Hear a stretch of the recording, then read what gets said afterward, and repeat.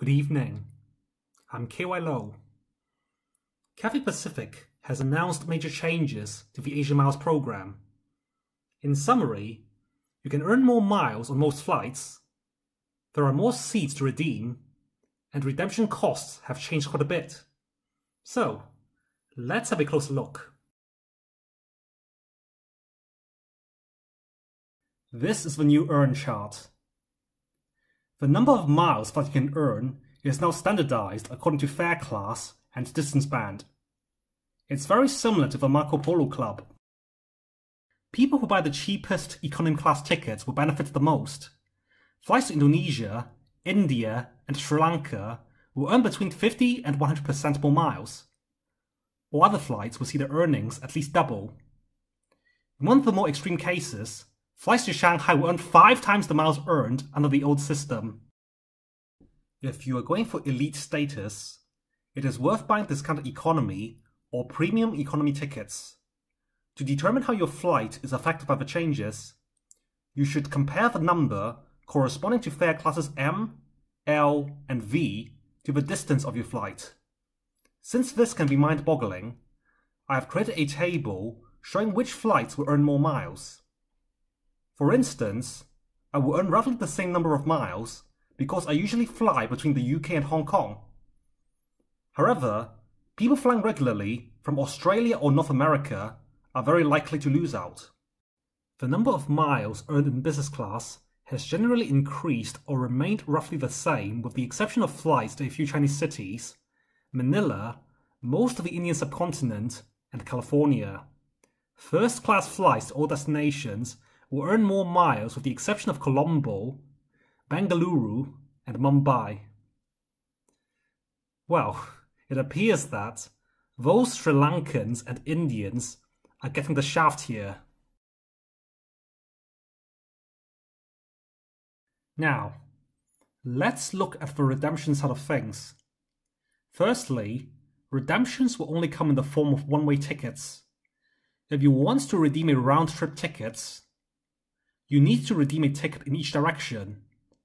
The cost of a one-way ticket has decreased slightly or remained the same for all classes.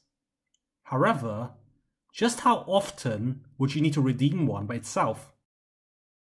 I think the most important change is that all short-haul round-trip flights, which cost more than 20,000 pounds to redeem, can now be redeemed for that amount. As a result, you're looking at a reduction of 10 to 25,000 miles or 33 to over 50%. Flights affected include those to Japan and South Korea, which are favourites of Hong Kong people. In addition to places like Beijing, Singapore, Malaysia, Indonesia, and India. Meanwhile, it will cost 1,000 fewer miles to redeem economy class ground trips to Australia, the Maldives, and the Middle East. Big deal. On the other hand, it will cost more miles to redeem round-trip tickets in anything above economy to the Maldives and destinations further away. We are looking at increments from 6 to 30,000 miles. Well, I guess someone has to give for others to take, right? Upgrades will cost more in general. Most of the damage is done to those who wants to go from premium economy to business class for long-haul flights, like me for instance. The cost of these upgrades will go up by over 50%. But hey, look on the right side.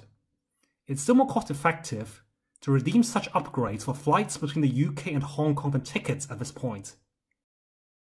Going by price differences, it is often a good idea to redeem upgrades from economy to business class in short flights without premium economy. Flights to places between 750 and 1,100 miles away are the hardest hit, with a 70% increase in the number of miles required. Flights further out are much more bearable with just a 13% increase. In conclusion, Cathay Pacific is doing the average Hong Kong person a massive favour. Their travel habits are exactly what is rewarded under the new system, just like those Super Japan fans. Unfortunately, their benefits come at the expense of long distance travelers like me. So, what do you make of the changes? How have they affected you? Please leave a comment below. If you like what I'm doing, please like, share, and subscribe. I'll see you soon.